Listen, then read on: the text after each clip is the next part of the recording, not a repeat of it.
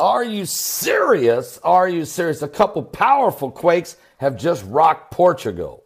5.1 and then a 5.4.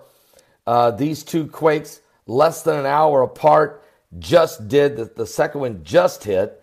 And uh, within the hour, we've had two very powerful, strong quakes 5.1, 5.4, both of them in Santa Cruz, uh, um, das Flores, Portugal.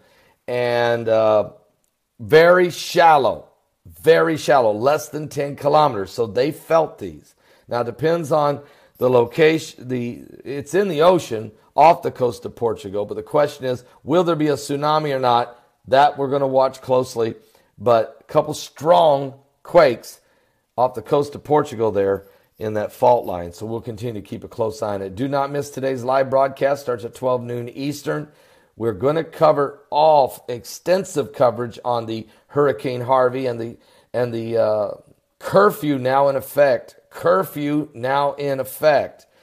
Is this martial law?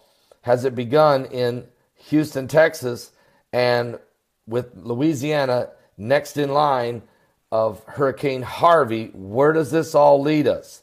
In a nation that's riddled with a situation now where people are on edge, crime, looting. If the wheels are starting to fall off in Houston, we knew it would happen in around, and it has begun.